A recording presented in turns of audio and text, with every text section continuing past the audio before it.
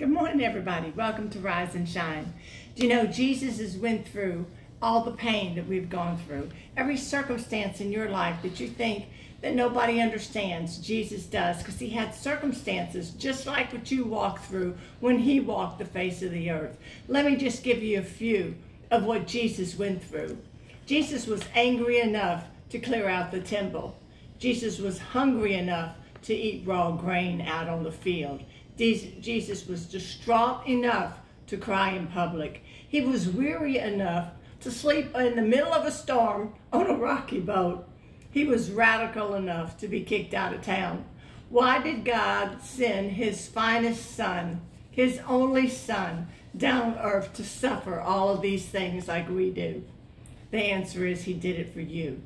He did it for you. So you will know that he is able and understanding, that you will know that he will understand and give you grace and mercy through every circumstance because he knows how you feel. He knows what you're going through. He knows our weaknesses and our strengths.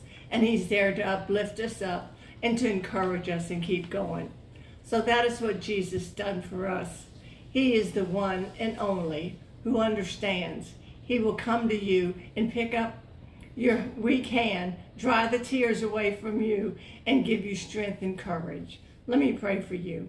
Oh, Heavenly Father, I just come to you because I'm just so weary and I'm just so tired and the what I'm walking through is so hard. So I'm asking you, Lord God, to help me. I'm asking you to give me strength and mercy. I'm asking you to lift me up and let me see things I've never seen before. Let me hear, hear your voice that I've never heard before. Let me understand, Lord God, and talk to me, Jesus. Give me strength and courage so that I can make it through each and every day.